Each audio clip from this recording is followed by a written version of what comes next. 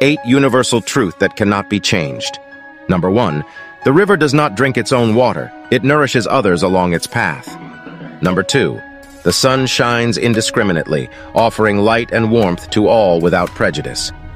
Number three, nature follows its own rhythm, unaffected by human constructs and boundaries. Number four, the past cannot be changed, but its lessons can shape a better future.